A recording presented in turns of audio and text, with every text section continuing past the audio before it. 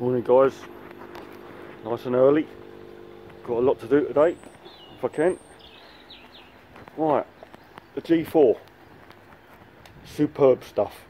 Can't recommend it enough. Has completely stopped the water coming through. That little bit you can see in the drain is we've had a little drop of rain overnight. Um, I should have apparently done a clear coat first.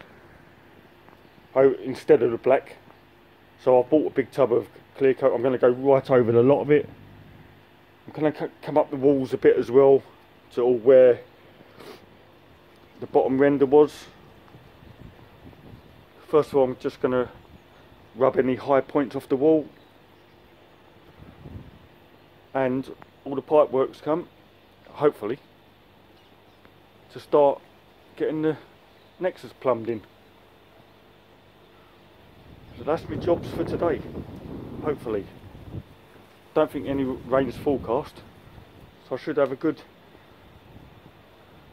be able to get a lot done today. That's the bottom drain fixed in. This one here is the air to the bottom drain. So I'm going to divert this, that one, right across behind me. So it's going to come, up the edge where the filter house wall will be. Um, obviously the air pump will be on a shelf there somewhere off the floor. That's the next one I'm going to do.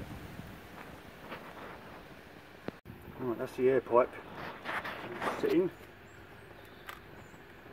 Obviously nothing gets welded together at the moment, plastic welded, until the final install.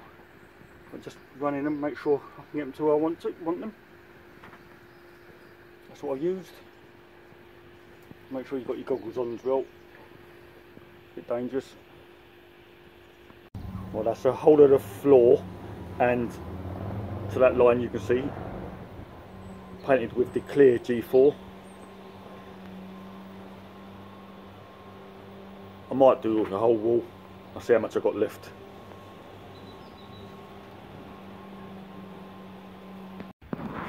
Decided to put the air pipe down deeper because I want the waste pipes I want to bring over the top of it and then into that corner of where I built the sump so it goes straight down you can see straight down into there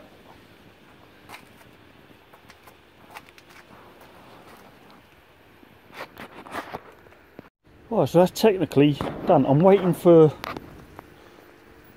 um, a large pipe that comes out of the large waste but it just run parallel with the small one into the wastewater trap. Then I can cement the slabs on finish that one over in the corner. Obviously all this is going to be reconcreted in so they'll be buried not the white ones. They'd be I, I couldn't get black ones believe it or not. So um if it bothers me I'll, I'll paint them black. But I'll, I'll, see. But they're gonna they will sit there like that. The left hand is the top hole in the pond. You return and that's the bottom one. Um, so as I said before I can turn off. When when the pond's looking a bit feel dirty on the bottom I can turn the top one off. Force all the water around the bottom. Hopefully it stirs it up. Goes down the bottom drain then into the filter to be cleaned. It's not all, I haven't cemented all the joints at the moment. Obviously I want to give it a, a wait until the final time, fitting. The pump sits under there, as you can see. That's the outlet.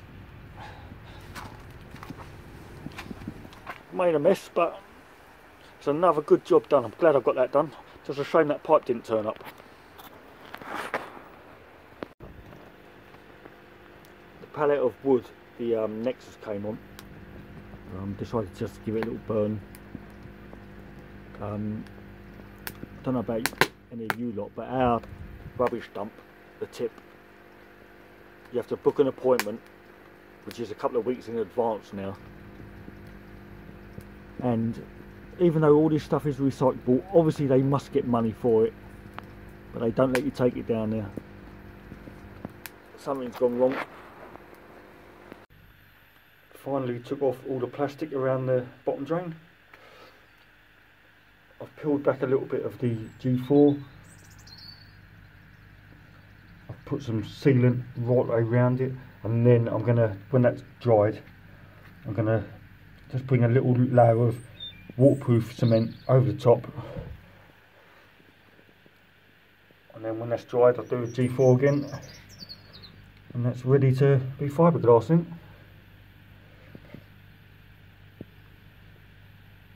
As you can see there's a little bit of water on the surface.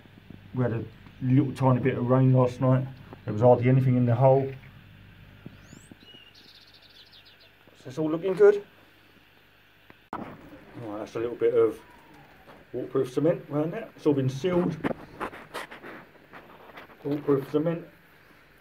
Now, if there's anyone who doesn't know how a bottom drain works, I'll show you.